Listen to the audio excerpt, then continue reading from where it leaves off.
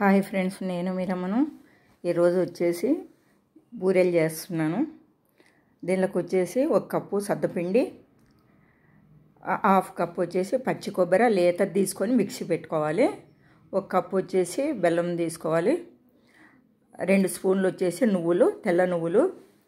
ఒక స్పూన్ వచ్చేసి ఇలాచీ పౌడర్ తీసుకోవాలి మెత్తగా వేసింది. మిక్సీకి వేసి పెట్టాను అలాంటిది పౌడర్ తీసుకోవాలి. తర్వాత బాండి పెట్టి కప్పు బెల్లం వేసేసి దాంట్లోకి కొద్దిగా చిన్న గ్లాసు వాటర్ పట్టేయి ఎక్కువ పట్టలేదు. చాలా చిన్న గ్లాస్తో అంత బెల్లం అట్లా కొంచెం తడిసేంత వరకు వాటర్ వేసుకోవాలి.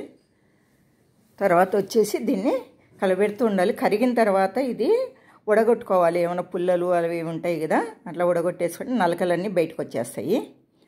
తర్వాత మళ్ళీ అదే దా బండిలో పోసి మళ్ళీ మనం చిక్కబడితే జాలు పాకం ఉంటే మనకు తీగ పాకం అనేది ఏం లేదు. ఇలాచి పౌడర్ వేసుకోవాలి ఫస్ట్. దాని తర్వాత ఇప్పుడు పచ్చి కొబ్బరి వేసేసుకోవాలి. నువ్వులు పచ్చి కొబ్బరి రెండు వేసేసి అంతా కలిపేసుకోవాలి. నువ్వులు ఫస్ట్ వేసిన తర్వాత పచ్చి కొబ్బరి వేసి అంతా కలిపేసుకోవాలి. తర్వాత పిండి వేసుకోవాలి.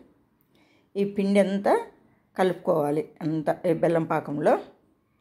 ఇదంతా ఇలా కలిసిపోతే సరిపోతుంది. దాంట్లోకి కొద్దిగా నెయ్యి వేసేసుకుంటే మనకు చేతికి బంకలాగా అంటుకోకుండా ఉంటుంది.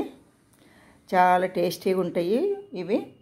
ఇవి అరిసెలు బూరెలు గారెలు దీనికి చాలా పేర్లు ఉంటాయి సద్దపిండితో చేసే దానిలకు.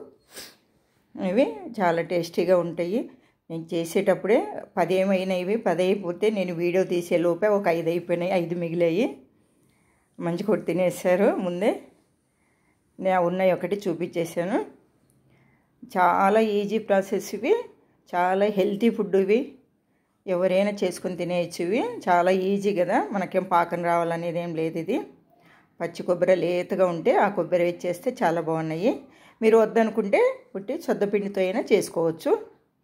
ఇలా ఈ పేపర్కి నేను నెయ్యి రాసి ఇలా చేశాను. ఇలా చేసుకుంటే చాలా బాగుంటుంది. ఈ సైజులో. అంటే ఎక్కువ మందం పెట్టకుండా ఇలా చేసేసుకుంటే సరిపోతుంది. ఆయిల్ వేడెక్కాక ఇంకా ఆయిల్లో తీసి వేసుకోవాలి మనం. నువ్వులు దాంట్లోనే వేస్తాం కాబట్టి అవి కూడా వేగిపోతాయి ఇప్పుడు ఆయిల్ వేసినప్పుడు. వేయించేయాల్సిన అవసరం ఉండదు. పచ్చి నువ్వులే కలిపేసుకోవచ్చు. అది తీసి ఇప్పుడు కాగే ఆయిల్లో వేసుకోవాలి. మెల్లిగా తిప్పుకోవాలి. లేకుంటే ఆయిల్ పైకి వచ్చేది ఉంది. మీదికి పడే అవకాశం ఉంటుంది. అలా చిన్నగా వేసుకోవాలి. ఇవి నాకు పదైనవి ఒక కప్పు దానికి. చిన్నగా తీసి పెట్టుకోవాలి.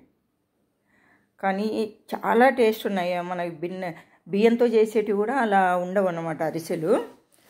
చాలా టేస్టీగా వచ్చినాయి పచ్చి కొబ్బరి చేస్తే. ఒకసారి ఇలానే కొలతలు ఇలానే చూడండి. ఒకసారి మీకు కూడా వచ్చేస్తాయి.